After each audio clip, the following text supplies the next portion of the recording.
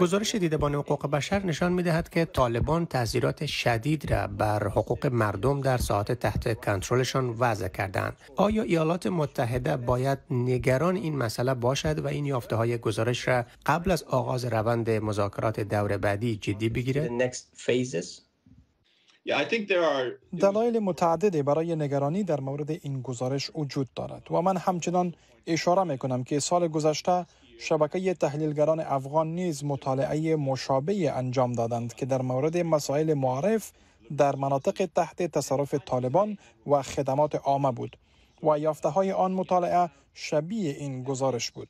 یک بار دیگر می گویم که شواهد وجود دارد که طالبان در ساحات تحت کنترلشان به گونه خشونتبار و تبعیض آمیز حکومت می کنند.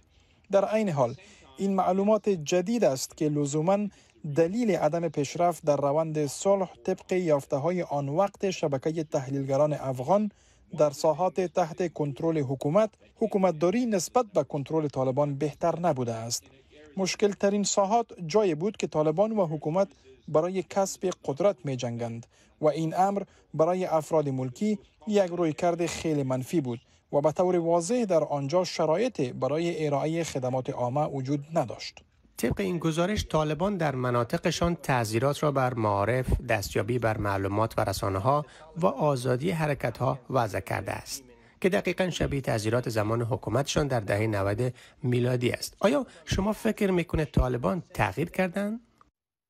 طالبانی که دیپلمات ها با آنان صحبت کرده است با ویژه طالبان در دفتر دوحه آنان می‌گویند که طالبان تغییر کرده اند. آنان می‌گویند که طالبان از تجربیات گذشتهشان در زمان حاکمیت بر بخش های زیاد کشور درس های آموخته اند. اینکه آنان شهرت بسیار بد در مورد حاکمیتشان داشتند. اما آنچه ما عملا از وضعیت در مناطق تحت کنترل طالبان مطابق گزارش سازمان دیدبان حقوق بشر پی می‌بریم که طالبانی که مستقیما با مردم مواجه هستند به آن اندازه تغییر نکرده اند. یک چیزی که من آن را جالب یافتم در این گزارش چندین بار با قماندانان محلی طالبان که سازمان دیدبان حقوق بشر صحبت کرده است به طور اغلب به این واقعیت اشاره کردند که آنان در جنگ بودند و نمی توانند شیوه حکومتداریشان را تغییر دهند. این سبک حکومتداری در شرایط جنگی است. اینکه شرایط اجازه نمی دهد دختران درس بخوانند و به زنان اجازه کار بدهند و این استدلال است که آنان در دهه 90 میلادی در وقت حاکمیتشان در آن کشور داشتند.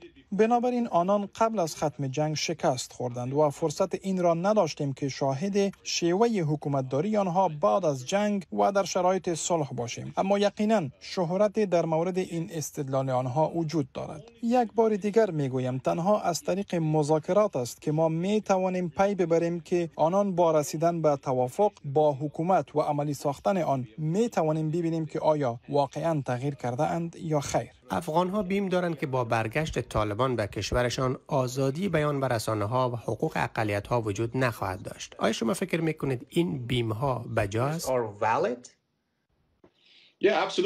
بله کاملا این ادعا درست است. با دلایلی که برشمرده معتبر است. چون این نوع تعذیرات با عنوان مثال بر رسانه ها در شمار متعددی از گزارش ها به طور پیوسته آمده است.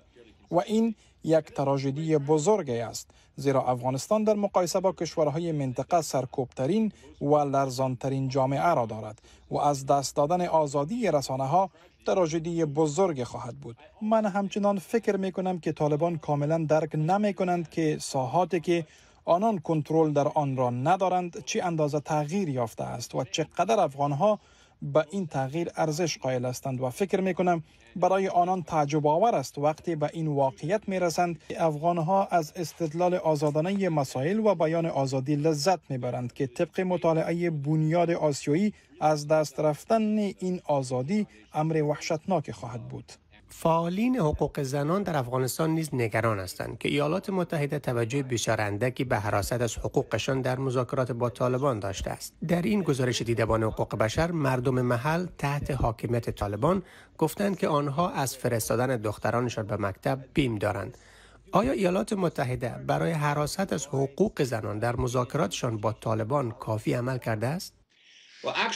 در واقع من فکر نمی کنم که موضوع حقوق زنان مسائل سیاسی و موضوعاتی که تا حال بحث کردیم در صدر اجندای بحث ایالات متحده و طالبان بود. اساسا دو موضوع در اجندا بود که یکی تضمین مبارزه با دهشت افغانی است که طالبان حملات دهشت افغانی علیه ایالات متحده از خاک افغانستان را انجام ندهند و مسئله دیگر جدول زمانی خروج نیروهای امریکایی از افغانستان است طوری که طبق نتایج این توافقات ترتیب شده بعد از آن توافق حکومت افغانستان و طالبان با هم مذاکره می کنند و در آن مذاکرات که ما انتظار داریم به زودی برگزار شود این موضوعات در اجندا بحث خواهد شد و لازم است که ما درباره آن بحث کنیم و فکر می کنم حالا تیم مذاکره کننده جانب حکومت بر این مسائل تاکید کند و از آن دفاع کند. من می افزایم که یک دست بالایی که جامعه بین المللی و ایالات متحده دارد که طالبان درک می کنند که هر حکومت بعد از روند مذاکرات صلح نیازمند به دریافت حمایت مالی از سوی جامعه بین المللی است.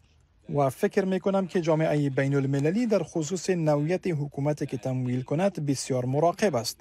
این که مطمئن گردد این نوع حقوق اساسی باید در حکومت باشد تا آنها هم به مالیت دهندگان و مردمشان توجیه داشته باشند که به حکومت مثل طالبان در دهه 90 میلادی کمک مالی نمی کنند. و برخی از اعضای کانگرس ایالات متحده از هر دو حزب نیز نگران از برگشت طالبان و اعمال تذیرات بر مردم افغانستان هستند و اینکه وقت ایالات متحده از افغانستان خارج شود طالبان بر افغانها مثل دهه 90 میلادی حکومت خواهند کرد.